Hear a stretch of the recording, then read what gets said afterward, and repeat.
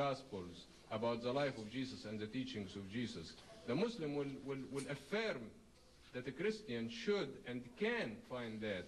The only problem is, is that with the current versions of the New Testament, that this is hidden with the theologian's point of view, the writer's point of view, camouflaged and all that, to the point that you make it very, very hard unless you are a, a true scholar and start searching for Jesus of history. Then you cannot unravel what the church had added and the doctrines that had been added. Now, you are, I'm sure that you are very much aware that there are very sincere, honest Christians, modern day Christians within the last approximately 150 to 200 years that had been in constant search of Jesus of history versus the Christ of faith and they are finding out that there are tremendous, tremendous difference between Jesus of history that they can verify historically of what he taught and between the Christ of faith that had been kind of, and I don't mean that as a disrespectful term, but invented by the church. Well, just a very quick uh, comment, um, just a very quick one. I think uh, what uh, Dr. Woodberry said is quite uh, significant, what other colleagues also have referred to, and I think we're coming to grips with one very crucial area in our understanding. Uh, the question of writing scripture for the sake of, for the purpose of explaining the nature and mission of Jesus as perceived by the writer who is not necessarily uh, infallible. And I think this is quite significant because once we reach that point, once we realize that this writing came after theological arguments have already started, I think the coloration of that writing, then it becomes a matter either of accepting by faith that those people wrote under divine inspiration, which is very difficult to accept really in view of the fact that there are so, so many irreconcilable contradictions. We don't want to, to dwell on that. There are so many irreconcilable contradictions in both an Old New Testament, which does not indicate really uh, confused Holy Spirit that's giving different information. But I think to conclude really, I believe that a lot of time in Christianity there is talk about the religion about Jesus, not the religion of Jesus. The religion of Jesus, what he, he preached, the gospel, whether it's within oral tradition or written form, Muslims believe has been the same as taught by all of the prophets, which is Islam. But what happened that after him, when the theology began to develop, the religion of Jesus was transformed for hundreds of years into a religion about the person of Jesus. And this is the crux of the difference, really. I think uh, to respond to that, you're actually making believe you have some source of information, that inside source that you know what the religion of Jesus I know. is. I And have. you- We do. Okay. I have. Well, you do. We do, Okay, we'll you can assert that. evening. You're permitted to assert that. We also can deny it because uh, we have some other material that we can confirm through thousands and thousands of manuscripts that go back even before the Quran was uh, uh, uh, given.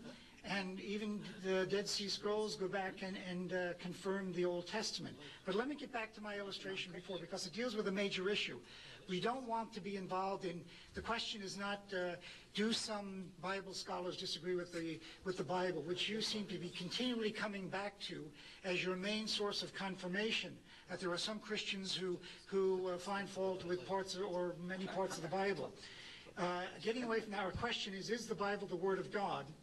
And my illustration that I started off with was one about a statue.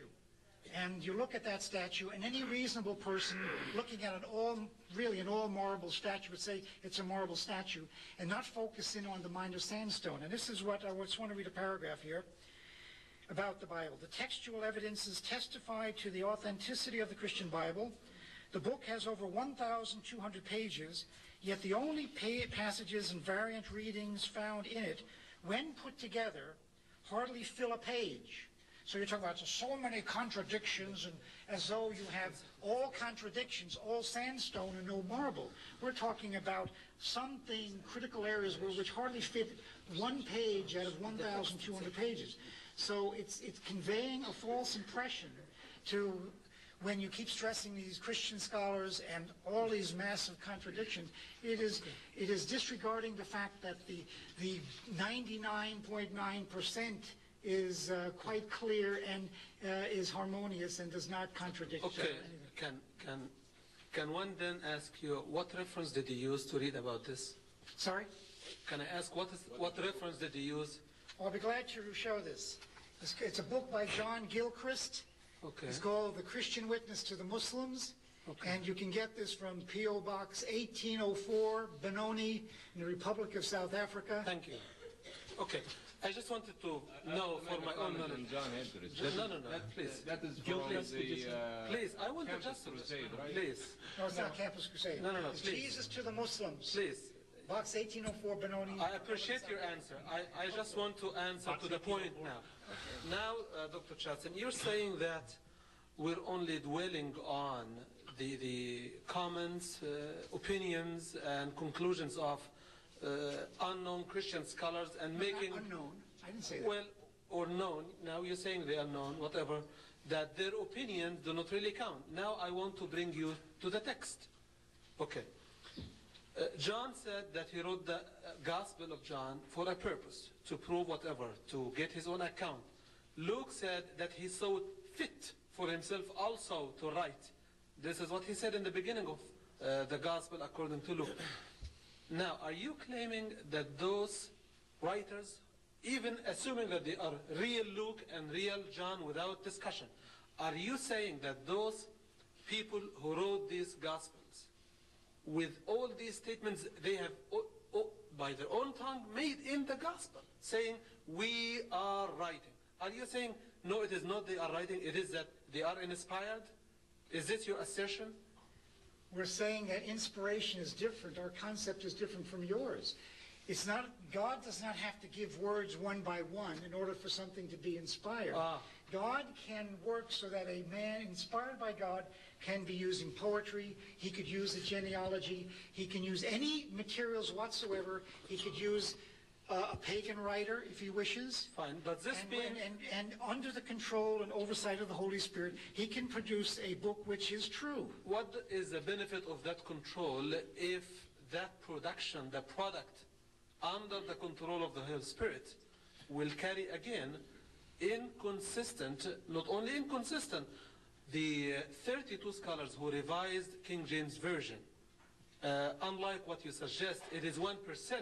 It is only a tarnished spot on a big statue of marble. Unlike what you suggest, the 32 scholars, backed by 50 denominations of the Christian uh, scholars, they said in the introduction of the Revised Standard Version that they have found many, and they did not call it mistakes, many defects. And they called them, they were so many and so serious to call for revision. And not only that, but to give some examples, and I want to carry this point thoroughly because it is the core of our discussion tonight. See, I give you some examples in the book of John, Acts, and others. All what the uh, revisers revised, as Dr. Hussein pointed eloquently, it relates to one single issue. Was Jesus God or was he not? I quote this. In John 3.16, the word begotten is taken off.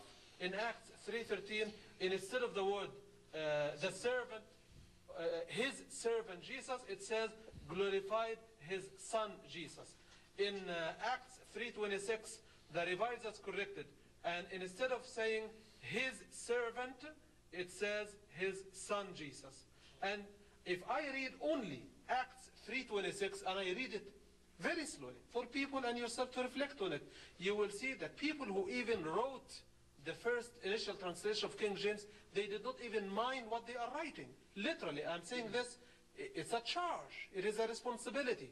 And the plaintiff of proof, as you said in the previous session, is on the claimant, not on us. Read uh, John uh, Acts 3.26. It says, Unto you, fairest God, this is King James, Unto you, fairest God, having raised up his son Jesus, sent him to bless you in turning away every one of you from his iniquities. If you can make a clear English sentence out of this, I give you $10 now. The revised, the revised standard version, because it's all I have anyway, the revised standard version says, God, having raised up his servant, sent him to you first. Look at the structure, Dr. Woodberry and others, to bless you in turning every one of you from you